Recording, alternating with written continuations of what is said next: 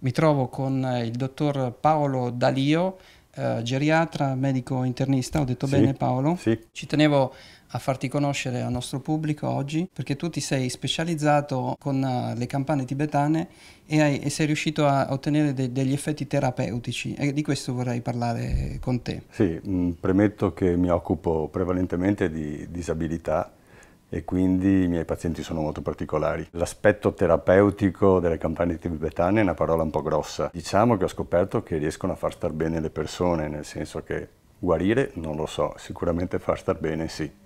Sono riuscito a risolvere delle crisi di agitazione utilizzando la campana tibetana. Sono un super scettico, quindi se sono qui è perché ho fatto le mie verifiche. Tra l'altro mi hai fatto sperimentare, mi hai fatto provare su di me un po' l'effetto di queste vibrazioni e ho constatato un effetto, non dico stravolgente, ma comunque sia molto, molto efficace. no? C'è qualcosa che risuona molto forte all'interno del corpo quando queste campane vengono mosse intorno alla persona. Tu poi mi hai fornito della documentazione, io ho potuto vedere che ci sono addirittura degli studi, uno che hai condotto tu, mi sembra con dei colleghi. Vorrei saperne un po' di più, mi puoi raccontare di questi due studi? Allora, lo scetticismo nasce spontaneo perché solitamente la campana tibetana viene vista come uno strumento rituale utilizzato da millenni, molto legato al buddismo, molto legato alla spiritualità. In realtà si è notato che la vibrazione prodotta da una campana tibetana è in grado di modificare elettrofisiologicamente l'organismo. Non ci credevo all'inizio perché pensavo fosse suggestione, e quindi ho provato a sperimentarla con, eh, con i miei pazienti che non sono in grado di essere in qualsiasi modo influenzati da quello che può essere l'aspetto esteriore o quant'altro e ho visto dei risultati. Ho approfondito le cose e sono riuscito a trovare degli studi fatti dalla medicina classica tradizionale, la nostra, che dimostrano che la campana tibetana è in grado di attraverso le sue vibrazioni, di modificare alcuni parametri molto importanti, che sono la conducibilità elettrica della cute, la frequenza cardiaca, ma soprattutto l'aumento delle onde alfa cerebrali, che sono quelle che precedono il sonno, sono quelle che mettono la quiete nell'animo prima dell'addormentamento. Questi sono dei dati che sono oggettivi e misurati. Le campane quindi entrano in risonanza con che cosa del nostro organismo? Noi viviamo grazie alle vibrazioni, noi siamo vibrazioni, il nostro fluire del sangue, il battito cardiaco, la nostra temperatura sono tutte vibrazioni. La campana tibetana entra come risonanza maggiore rispetto alle nostre cellule e quindi le sincronizza. Ci sono delle dimostrazioni importanti di come le vibrazioni sono in grado di sincronizzare anche altre vibrazioni, quindi l'effetto della campana è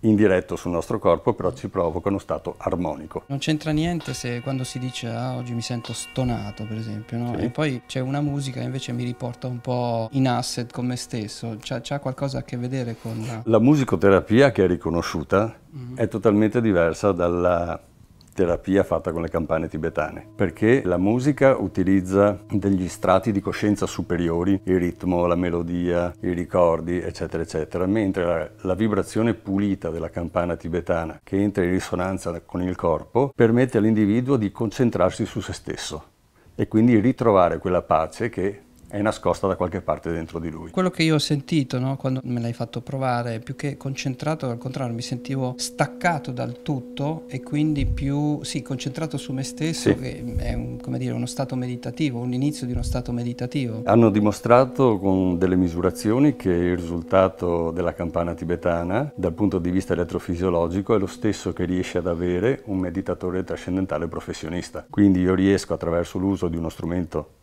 semplice a darti uno stato di benessere molto molto intenso. Ecco, infatti quello che io ho sentito è una sensazione simile a quella che ho provato in precedenza ehm, durante una terapia cranio-sacrale, di entrare in quello stato che assomiglia un po' allo stato meditativo, in cui sei conscio di dove sei, senti le persone intorno a te, ma nello stesso tempo sei anche addormentato. Non saprei come descrivere questa situazione. È un po' la transizione tra la veglia e il sonno. Questa transizione avviene attraverso un aumento delle onde alfa cerebrali. La campana tibetana è in grado di ridurre l'attività delle onde beta cerebrali, che sono quelle della veglia, quelle della concentrazione del pensiero, quindi vengono diminuite queste onde e aumentano le onde alfa. E quindi c'è anche un rilassamento muscolare perché tipico del sonno è il rilassamento muscolare che avviene per evitare di correre durante il sogno. La prima applicazione pratica è sullo stress, su- su, sullo stato d'ansia, sull'insonnia forse? Assolutamente sì, sono riuscito a far addormentare alcuni pazienti durante le prove. Molti soggetti solitamente molto aggressivi hanno tollerato molto bene la campana tibetana, anzi eh, si sono rilassati, si sono lasciati andare a stati di grandissima serenità. Tu, come dicevi prima, hai dei pazienti molto particolari, mm, per cui queste applicazioni sono anche più difficili forse da realizzare. Io non utilizzo il messaggio mh, mm, tradizionale perché sarebbe impossibile utilizzare più campane contemporaneamente. Ho sviluppato una tecnica utilizzando la campana tibetana, una unica campana tibetana, utilizzata prevalentemente per strofinio più che per percussione e questa viene tollerata molto bene dai pazienti che la gradiscono e la richiedono anche. Nel tuo campo serve per delle applicazioni specifiche, però qual è la gamma di situazioni in cui si può trovare beneficio con queste armonie? La campana tibetana, dal mio punto di vista, però è una mia opinione, non pretende di guarire dalle malattie, però di dare del benessere, sì. Io che lavoro con la disabilità eh, non posso pretendere di guarire i miei pazienti, però dargli del benessere, sì. Quindi io credo che negli stati di stress che ci portano a essere lontani da noi stessi, la campana tibetana sia assolutamente utile. Mi parli un attimo dello studio, che, chi, chi, ha condotto quello studio che mi hai, mi hai, fatto leggere? L'ho proposto io, mm, più che altro per riuscire a capire se effettivamente la campana tibetana avesse un effetto placebo, avesse un effetto... Cosa, cosa avete fatto in pratica? Abbiamo utilizzato dei pazienti che non sapevano che cos'era la campana tibetana e abbiamo verificato se la loro accettazione e il loro comportamento potesse essere modificato dall'utilizzo della campana tibetana. I risultati sono stati sorprendenti sotto certi punti di di vista perché soggetti a volte molto aggressivi si sono lasciati andare e hanno accettato quello che è un corpo estraneo sul loro torace, una situazione che non riuscivano a capire perché è difficile spiegare che cosa stavamo facendo e questo mi ha convinto che la campana tibetana al di là dell'effetto estetico, dell'effetto scenografico, ha una sua capacità intrinseca. Come pensi di sviluppare questa esperienza adesso? Io non è che cerco di sviluppare, per me la campana tibetana è una passione, è una passione che cerco di far conoscere alle altre persone perché il terapeuta, tra virgolette, diventa piccolo piccolo ed è la campana che fa quasi tutto il lavoro. Ce lo insegnano anni e anni di civiltà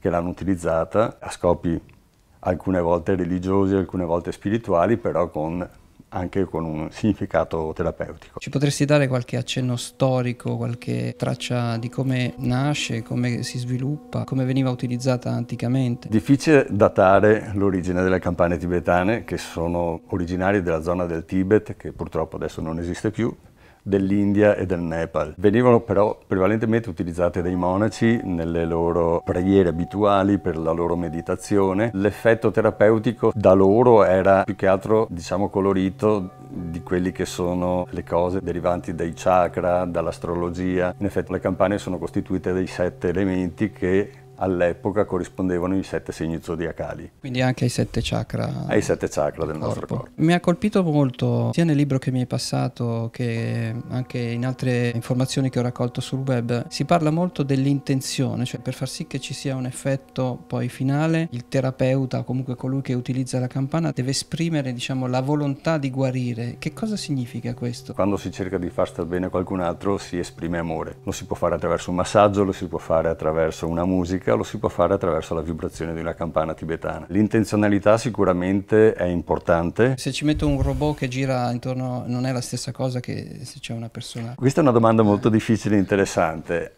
perché io vedo che spesso le campane lavorano quasi da sole, nel senso che il mio intervento è quasi minimo. Devo avere la pazienza di dare i tempi giusti alle campane. Una cosa molto interessante della campana e che fa di una campana tibetana una buona campana è il tempo in cui riesce a continuare a suonare dopo il tocco o dopo lo sfregamento. Più lungo è questo tempo, migliore è il risultato della campana tibetana perché attenuandosi lentamente la vibrazione fa in modo che l'individuo che la subisce la ricerchi e ricerca anche se stesso, tanto che si perde e si distanzia dal contesto circostante. Ci dai qualche cenno su come viene realizzata una campana? È prodotta in maniera artigianale, prima di tutto. Ci sono dei maestri che le fanno come qualsiasi strumento musicale e sono delle tecniche che vengono tramandate di padre in figlio. È stata ripresa recentemente da una ditta argentina che le fa con tecnologie moderne, ottenendo delle campane dal suono purissimo, però il fascino della campana tibetana è, rimane eh, Cos'è una lega? C'è anche dell'oro, se non sbaglio. C'è anche dell'oro, però c'è anche del piombo. Sono i sette metalli che rappresentavano i sette pianeti conosciuti all'epoca, cioè il Sole, la Luna e pochi altri. Quante campane utilizzi normalmente nelle tue applicazioni? Io ne utilizzo una alla volta, principalmente. Utilizzo campane di medie dimensioni che sono più tollerate dai miei pazienti perché le campane più grosse sono anche impegnative dal punto di vista fisico. Le campane più piccole hanno un aspetto, diciamo, più di contorno. La campana deve essere però prima di tutto in grado di mantenere la vibrazione per un lungo periodo. Questo dipende dalla qualità del metallo, della lega ottenuta eh, o di come viene utilizzata? Dipende da chi ha costruito quella campana, come è riuscito a calibrare perché lo spessore della campana, che di fatto è una ciotola, ha una sua importanza, quindi l'altezza della parete, il diametro della base rispetto alla superficie, sono tutte delle variabili che danno una voce diversa a ogni campana. Cosa serve introdurre nella campana? Ho visto che si può mettere dell'acqua calda, anche c'è un effetto molto interessante da osservare. Stai parlando della danza dell'acqua che è molto spettacolare. Quella è la dimostrazione di quanta energia riesce a liberare la vibrazione di una campana tibetana. Teniamo presente che noi siamo fatti per gran parte di acqua e quindi è una cosa molto interessante capire proprio l'energia che si riesce a trasmettere tramite la campana. Ma si può diciamo, fare un'applicazione con l'acqua all'interno della campana? C'è un senso per aumentare so, la, la, sua potenzialità oppure? Mm, io di solito non la utilizzo, la utilizzo soltanto per dimostrare quella che è l'effettiva vibrazione che può essere prodotta da una campana tibetana. In letteratura qualcuno la utilizza, però ci deve essere un paziente molto collaborante perché appena si muove altrimenti l'acqua esce. Quindi diciamo che le applicazioni che si trovano sono molteplici, si possono trovare terapeuti che utilizzano anche tante campane. Tu vai più sul semplice, vuoi osservare più un effetto chiaro e limpido? Io ho utilizzato il metodo più semplice possibile per far accettare la campana delle persone a cui non potevo spiegare che cosa servisse la campana. Faccio cantare la campana, ne basta una nelle mie applicazioni. Altre persone, altri terapeuti utilizzano il messaggio tradizionale che ha tutta un'altra serie di tecniche. Bene, adesso per concludere potresti farci una rapida descrizione di come si svolge una seduta? Allora, innanzitutto si spiega relativamente al paziente, al soggetto che fa il trattamento, che cosa stiamo per fare. Viene fatto stendere in una posizione comoda, in un ambiente possibilmente privo di influenze esterne. Viene indicata la parte del corpo che subirà l'appoggio della campana, solitamente il torace, e poi si comincia la seduta. Si comincia generalmente con eh, una parte di strofinio della campana che mi permette di avere delle note più basse e più equilibrate, più, più lunghe, più dolci. Poi si parte eh, con delle percussioni, sempre lasciando esaurire il suono della campana in modo che è la campana che fa il lavoro grosso. Una seduta dipende anche dal grado di responsività del soggetto, può durare dai 10 ai 20 ai 30 minuti. Per oggi ti ringrazio per questa intervista che hai voluto rilasciarci, molto interessante l'argomento, uh, ti invito a venire sul nostro canale a rispondere alle domande perché ci saranno tante domande che i nostri utenti ti faranno. Grazie e alla prossima intervista. Grazie a te.